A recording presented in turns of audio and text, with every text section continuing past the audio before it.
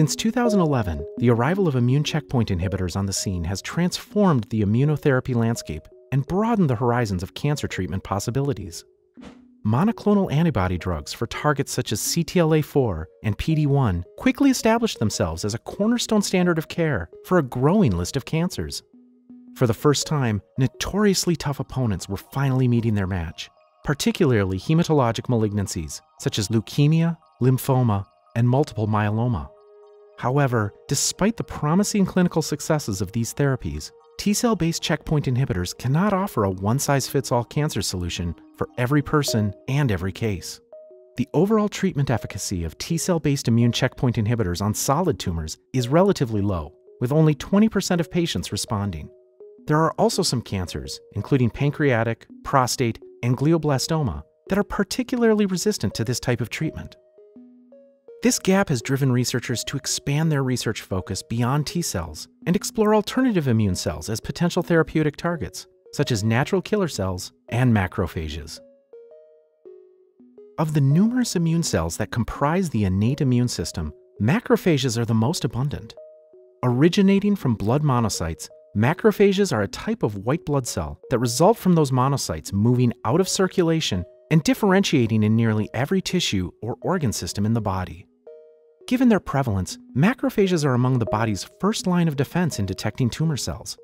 They are involved in several immune functions and exhibit fundamentally different behaviors from T cells, the most important being phagocytosis. As professional phagocytes, macrophages are highly efficient in detecting, digesting, and disposing of non self cells, including infectious pathogens, cellular debris, and tumor cells. Macrophages possess a number of innate mechanisms they can utilize to help facilitate phagocytosis of tumor cells. These mechanisms include toll like receptors, or TLRs, antibody dependent cellular phagocytosis, and immune checkpoints. As pattern recognition receptors, TLRs analyze and recognize a wide variety of pathogen associated and damage associated molecular patterns, helping macrophages identify their tumor cell targets. Antibody dependent cellular phagocytosis, or ADCP, is an important mechanism of action in which antibodies bind tumor cells and activate Fc gamma receptors on macrophages. Activation of these receptors induces phagocytosis, internalizing and degrading the tumor cell through phagosome acidification. Immune checkpoints offer macrophages a means of continuous cell surveillance, with the SIRP alpha CD47 immune checkpoint being of particular interest in targeting tumor cells. The SIRP alpha CD47 immune checkpoint offers a promising mechanism for cancer researchers to leverage in the development of antibody based immunotherapies. In recent years, the immune checkpoint formed by signal regulatory protein alpha, or SIRP alpha, and its ligand CD47 has emerged as a hot therapeutic target for macrophage biology. Under normal physiological conditions, the SIRP alpha CD47 immune checkpoint serves as a don't eat me signal this signal helps maintain the body's immunotolerance and protects healthy cells from being cleared by macrophages. Despite this important role, this signal is manipulated and exploited by tumor cells to their advantage. The overexpression of CD47 on a tumor cell's surface helps them hide in plain sight, tricking macrophages into viewing them as friends, not food. This allows the tumor cells to evade and ultimately escape macrophage mediated killing. Given the reputation it has earned as an immune evasion pathway critical to tumor progression, researchers have been investigating this pathway as an immunotherapy target.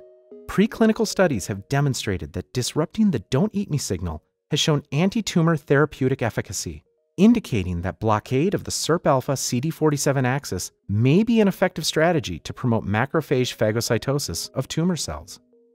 However, due to CD47's presence on red blood cells, Anti CD47 therapeutics can also result in destruction of red blood cells and lead to adverse hematological effects like anemia and thrombocytopenia. This has prompted biotech and other pharma companies to explore unique antibody modifications and structures to target this interaction. These modifications, which can include altering the Fc domain, binding SIRP alpha, or bispecific combinations such as SIRP alpha plus PD1, drive antibody dependent cellular phagocytosis while avoiding some of the undesirable off target effects. Compared to CD47, expression of SIRP alpha is limited to fewer types of cells, so there are less concerns about hematological effects. Despite these challenges, researchers are continuously finding new methods and strategies to further elucidate this pathway and make it easier to target. I'm Jonathan Mitchell. I'm a senior research scientist at Promega, and I've been one of the lead scientists developing our new suite of THP1 monocyte-based bioassays. And so I would say a lot of our previous bioassays have really centered around T-cell biology, particularly for immune checkpoints. We know that uh, macrophages, monocytes, these other types of myeloid cells can play a really key role in uh, cancer immunodetection and destruction. So the way that these cells do this is that they can actually find the cancer cells and engulf or phagocytose them. And so then that, that results in the destruction of the tumor cells, but the added benefit is that the cells, macrophages, monocytes can go on to present unique antigens from those cancer cells. I think that you know we're seeing kind of a shift uh, in paradigm now from from T cell checkpoints being the focus to recognizing that we really need to bring other checkpoints into play to combat things like solid tumors or, or certain types of cancer that just aren't as responsive to the T cell checkpoint inhibitors. So that's where myeloid cells are, are being enlisted at this point to try and attack the cancer really from another angle. And one of the biggest challenges uh, with these myeloid-based checkpoints, and particularly the SIRP-alpha CD47 checkpoint, is that CD47 is, is actually expressed beyond just the tumor. It's on many healthy tissues.